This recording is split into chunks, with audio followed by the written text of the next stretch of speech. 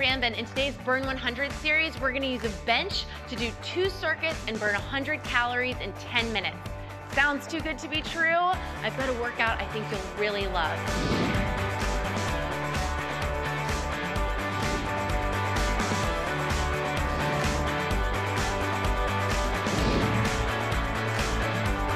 So let's get started. Okay, our first move is a reptile. Now, all you have to do to do this is put your body in a nice plank with your shoulders above your hands and then pull your knees into your elbows, okay? Now, I know it's not a lot of movement, but because you're pushing down into your hands and you've got your core engaged to keep your back flat and then you've got your legs moving, you're actually firing up pretty much every muscle in your body right? So it's important to keep your back flat. To do that, pull your navel into your spine so you don't sway in your lower back.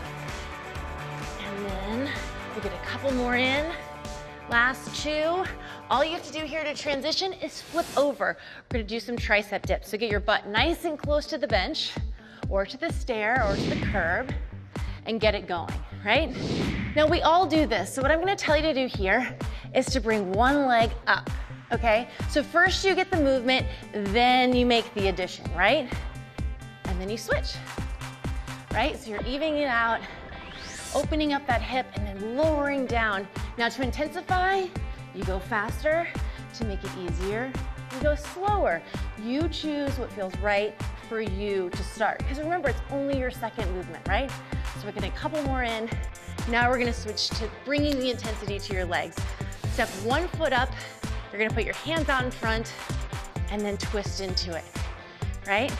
Keeping your balance, driving through your heel. Now, this is the beginner level, okay? We wanna intensify, we just go into that toe and we speed up the movement, right? Keep pushing into it. If that's too hard, step off to the side and give yourself the turn, okay? It can be that easy. Then of course we have to switch to the other leg, right? Here we go. Right back into it. This one will really get your heart rate up. Oh, I can't even say heart rate. We're having fun now. Or remember, intensify. Three, two, one. Okay, right back into a push-up. We're back here. Our hands are a little bit wider. We push up, and then we're gonna do a nice little rear delt fly. What I want you to think about here is squeezing your shoulder blades together when you come up because that's alternating the motion from your chest to your back and it helps even you out. It helps roll your shoulders back, gives you better posture, right? Let's get in two more, shall we? Last one. Okay, finally, the last one. Whew, it's a toughie. So here we go. You're gonna take one foot out, hands on the bench, support yourself, and then just step up. Drive right through that heel and step up. Now, if you've got a friend working out with you, you can raise, oh, but you really need to have somebody there to give you support. Otherwise, we're just digging through that heel. Now, don't forget to switch your feet, right? You don't want to burn out one leg because we have one more circuit left to go. Now, when your legs get tired, pull up through your core, and that'll help keep your momentum. All right, we've got three more. One, two, three, try for four. Always try for one more. Okay, back to the second circuit. Okay, so now that we know the moves, let's intensify. Let's pick up the pace, right? Squeezing. Now, if you're winded, it means you're doing it right, okay? If you're winded, push yourself a little bit harder, then slow down. Then catch your breath. But show yourself that you can actually do it, right? Don't quit. Two more, and then we just flip over and we switch right there into our dips. Now your butt's gonna have a tendency to wanna walk out away. Keep it in, and then your elbows stay in, and you just pump through it.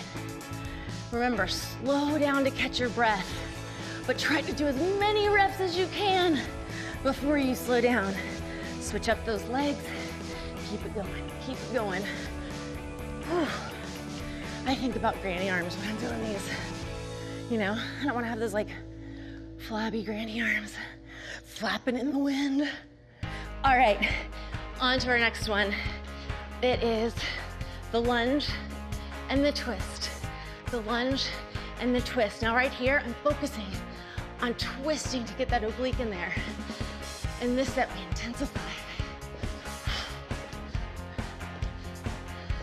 Two, one. After this set, you might be a little winded. Don't stop. Take it to the ground. Keep moving, okay? That's the point. Just keep moving. Then when you've caught your breath, you go back into it. Give me five, four, three, two, one. Okay, now we roll right into our push-up and our rear delt fly, right? Keep your legs wide so you've got a nice stable base to dig down low and pull back as deep and as strong as you can, right? Now you're on this incline, so the push-up is actually gonna be a little bit easier. You don't need your knees here, especially with a wide base. I mentioned granny arms. This one's for your bra flap, ladies. I think about it, everybody does. Last one. Okay, take your seat, right to the tuffy. Standing up, right in that glute. Feel your hamstring. Do you know where your hamstring is? It runs right down the back of your leg, and it's just as sexy as your quad when it's toned, right? Keep standing, keep going. All right, let's switch. Okay, so here's the thing. I know you wanna stop, but you're too close to stop. We have come way too far. Let's take three more. One, two, All done. What do you think? Stand up, lift your chest, don't bow down. You're done. Open your heart, let the air in, right? And release.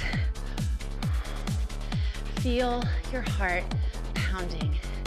That is the best reward out of this whole thing. You've got the physical, you've got the mental, you've got the emotional. It all comes in one little package. So tell everybody what you think. Tell them about your experience online by using the hashtag Burn100. You can find me at Mary Rambin. We'll all be here for you at the Self channel. Come back, work out with us again. Thanks so much. Have a great day.